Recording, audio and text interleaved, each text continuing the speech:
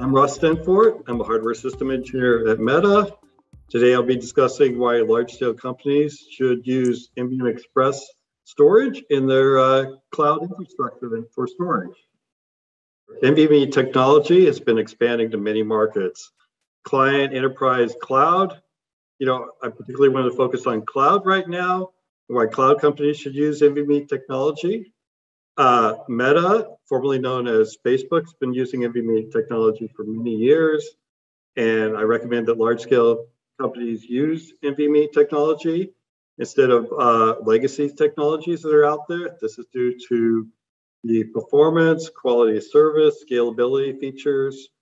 Over the years, NVMe technology management capabilities have also become very robust. It's very useful for managing at scale cloud applications in particular.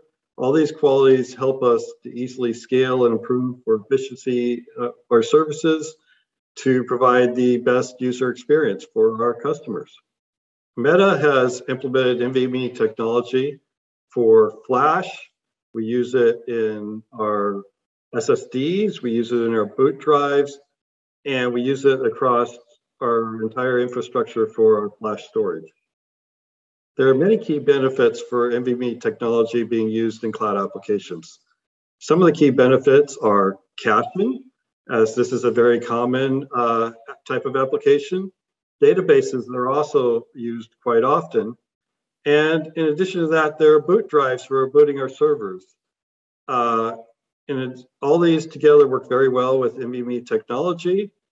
And a specific example at Meta is we deal with multi-tenancy where uh, multiple applications are running on the same device and uh, being able to have the same customers use the same hardware is very useful with NVMe technology.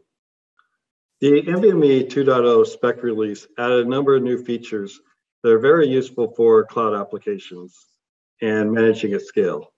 Uh, the first one I want to mention is partitions and endurance group management are good examples that are features that will benefit multi-tenant applications.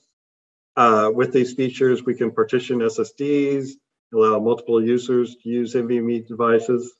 There are also some smaller enhancements. However, they're very useful to manage at scale. Things like uh, enhanced log pages, telemetry uh, optimizations. They allow better telemetry and managing applications more effectively and being able to manage at scale is key to large deployments. The 2.0 NVMe refactoring has been very useful for the cloud market.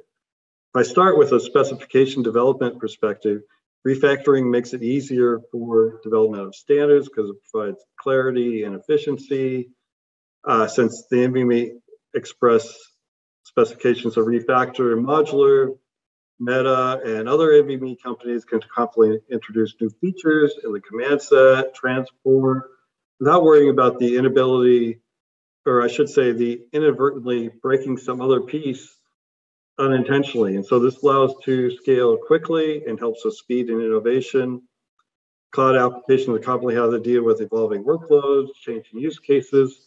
So having a standard that keeps up with these changes is great. Uh, NVMe technology has many benefits for the cloud market with the updates from NVMe 2.0 specification release. NVMe SSD adoption for cloud use cases are bound to increase.